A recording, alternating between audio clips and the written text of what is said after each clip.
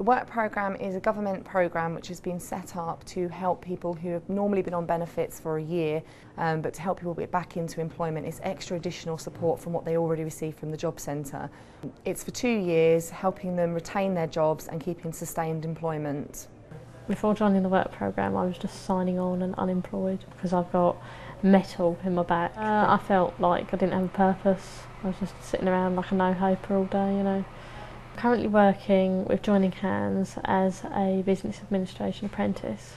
The best thing about working with Joining Hands has been able to add to the good work they're already doing, making them aware of apprenticeship schemes that are available, government funding, um, and just being able to work with a social enterprise that's already doing so much good in the area um, with various different projects they have running at the moment.